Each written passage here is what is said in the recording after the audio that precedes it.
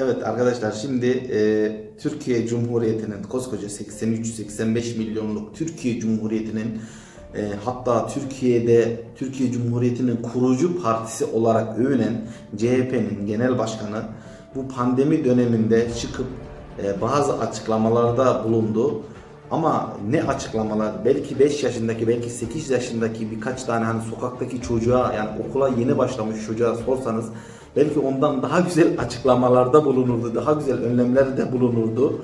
Ee, güldüğüm için de kusura bakmayın arkadaşlar ama şimdi bir video izleteceğim size. Resmen yani komik bir durumdayız. Ee, bu ülkenin acınacak hani bir muhalefet partisinin lideri var.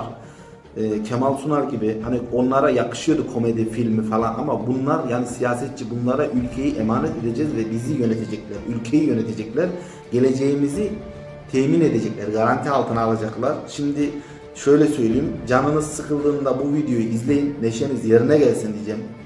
Ancak bu kadar olur bu videodan zaten. Ondan Bakın arkadaşlar. önde- önlemine bakın Allah aşkına. İnsan bari çağırır bu işin uzmanlarını. Oturur bu uzmanlarla konuşur. Hangi önlemlerin alınması gerektiğine bir bakar. Uzmanlara sorar bu önlemler doğru mudur, bu yanlış mıdır, böyle bir önlem alalım mı, almayalım mı diye. Kahveler açık, güzel. Ama kağıt oynamak yasak. E, vatandaş kahveye niye gitsin o zaman? Oysa önlem alabilirsiniz. Dersiniz ki her oyunda sıfır yeni kağıt açacaksınız. Bitti bu kadar basit. Ama bu düşünülmüyor bir. Akıllarına bile gelmiyor. Ya sen gerizekalı mısın? Evet arkadaşlar şimdi bu videoyu böyle yayınladığım için kusura bakmayın çünkü telif atıyorlar bazı uyanıklar. Ee, bu tamamen bize ait olduğu için şimdi bu şekilde bu böyle telif atamıyorlar. Ama e, neyse konumuz da şu. Görüyorsunuz yani muhalefet partisinin lideri ya koskoca e, 6 ay boyunca 8 ay boyunca dünyada koronavirüs vardı. Bir dünya e, can kaybı oldu. E, bir iki hafta önce çıktı resmen açıklamasında şöyle söylüyor diyor ki e, iki e, iki aşamalı diyor bak. Dünyada diyor birincisi diyor pandemi diyor böyle bir hastalık var mı? Var. Teşhis edildi. Haydi bismillah hani e, bunu e, 6 ay sonra böyle bir açıklama yaptığına göre e, koronavirüsü gibi bir hastalığın dünyada olduğunu artık ikna olmuş, ona inanmış. Bu büyük bir başarı, buna sevindik. Bu bir, bu bir. İkincisi diyor ki ne? E, bunun diye iki türlü aşaması var. Birincisi bulaştırmayacaksın kardeşim diyor. Bulaştırmamak için elinden gelen her türlü önlemi alacaksın.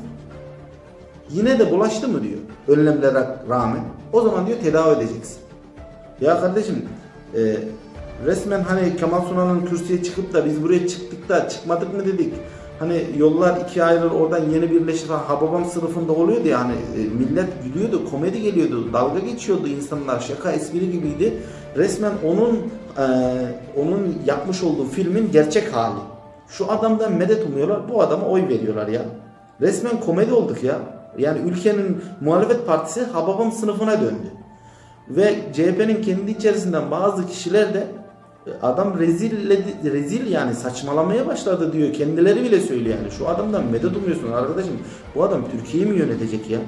Adam ne diyor ya? Adam çıkmış şöyle diyor bak 5 yaşındaki bir çocuğu kendi çocuğunuz yok mu ya? 5 yaşında 8 yaşında. Deyin ki ne? Bir hastalık var. Bu hastalığı önlemek için ne yapabiliriz diye çocuğunuzu sorun. Belki bundan daha fazla bilgi hani paylaşımında bulunur size. Daha fazla örnek ver. Adam diyor ki ne? E, kahveler niye açık? Adam para kazanamıyor, oyun oynamak yasak. Bu- Bunun diyor hani e, e, uzmanlarına danış diyor. Abi kağıt oynamanın uzmanları mı var? Kağıt oynama uzmanı mı var? Hani kumar oynama uzmanı mı var? Hani ne oluyor diye. Yani daha önce bu koronavirüs gibi virüs e, dünyada bulaşmış. Bu kağıt hani kahvedeki e, bu ortamın e, virüsün hani yayılma etkisini kıran bazı kişiler önlem almış da ona uzmanlık alanı verilmiş de o uzmanları mı var artık? Kahvede kağıt oynayanlara bu virüs bu- bulaşmama uzman diyor. Adam resmen saçmalam saçmalıyor ya. Ne alaka yani? Her el kağıt dağıtacakmış. Yeni kağıt. Ya kardeşim adam bugün 4 milyondan 5 milyondan çay içse 4 çay içse adam 4 kişi. Onu da, hani bu bir ayrı hani bunu söyleyeyim de 4 milyondan bir çay içse 20 milyon. E, sıfır kağıt internete gir bak kardeşim o hani kağıt 17 liraya. Git e, 1 milyon ceneye 17 liraya. Adam 5 milyon 10 milyon hani satıyor ya git oraya 17 milyon. 17 milyona kağıt alacaksın sıfır kağıt. E, bir el döndüreceksin 20 milyon çay parası alacaksın ondan sonra çöpe atacaksın. Cebine ne kalıyor kardeşim? 25 milyon para alsan e, 8 milyon 9 milyon para kalıyor. Yetecek mi bu? Ne anladın bu işte? Ya onun diyeceğine herkese birer eldiven tak. 10, 10 kuruşluk eldiven ondan sonra çöpe at de. Onu bari de yani. Eldiven yani o bile ondan daha hani e, daha iyi bir öneri yani. Adam resmen yani Türkiye SSK'yı böyle batırmış işte. Yani ben hesap uzmanıyım diyor ya SSK'yı batırmış. Gelmiş şimdi de Türkiye'nin ana muhalefeti olarak muhalefeti batırıyor. Türkiye'yi buna teslim edeceksiniz. İstanbul'u, Ankara'yı, İzmir'i ve Çanakkale'yi, Balıkesir'i kaç tane buna Eskişehir'i şey, büyük illeri verdiniz ya. Antalya, Adana, Mersin hepsi bunda ya. Ya komiksiniz kardeşim. Ben yani size buradan e, hani hep böyle paylaşımlarda bulunuyorum. Aklınızı başınıza alın. Kendi çocuğunuza bakın. Kendi çocuğunuza 5 yaşındaki çocuğunuza evinizi verip de bu evin reisi sensin, sen yöneteceksin diye yani 5 yaşındaki bir çocuğa getirip maaşını teslim edersen ne yapar ya? Oyuncak alır, çikolata alır, şeker alır. Sen de ay sonunu babaya alırsın yani kusura bakma da böyle bir şey. Sen buna neyi vereceksin bu adama? Adam resmen Kemal Sunal'ın komedi filmini çekiyor burada. Kemal Sunal'a yakışıyordu ama bunlara yakışmıyor. Bu adam ülkeyi mi yönetecek? Sadece moralin bozulduğunda aç izle bunları. Bu kadar yani. Evet beni dinlediğiniz için hepinize teşekkür ederim. Bir sonraki videomuzda görüşmek dileğiyle.